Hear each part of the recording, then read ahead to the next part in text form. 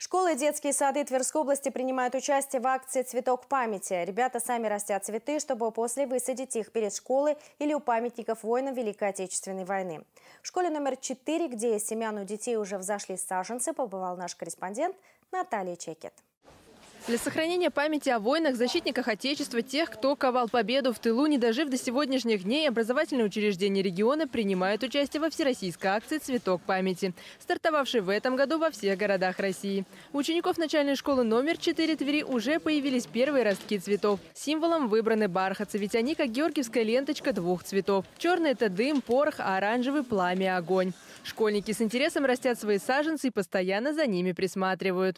Мы сначала э, засыпали горшочки зем, землю, потом, потом на, раз, ra, э, засыпали до нужного места, разровняли, потом нам дали семена, мы сделали дырочки и засунули, и засунули туда семена. Потом полили и начали, ну, и за, как бы закопали.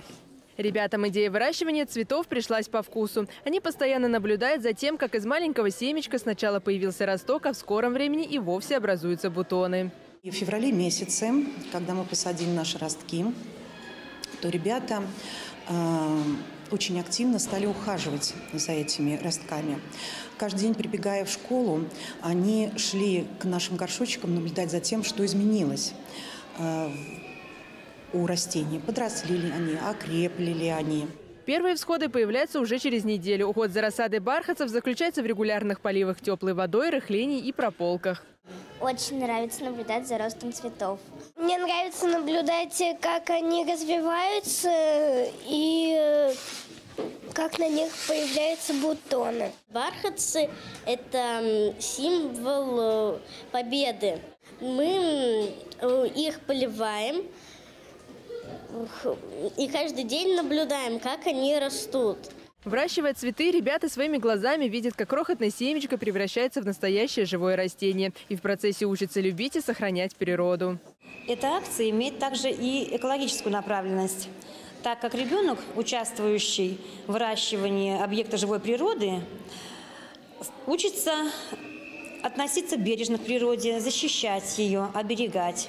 Бархатцы планируют высадить рядом со школой или возле памятников павшим героям Великой Отечественной войны в преддверии 9 мая. И после посадки ребята продолжат смотреть и ухаживать за выращенными цветами. Всего на участие в акции «Цветок памяти» подано более 350 заявок. Больше всего поступило из Ржевского, Калининского, Бежецкого, Вышневолодского, Торжокского и Пеновского районов.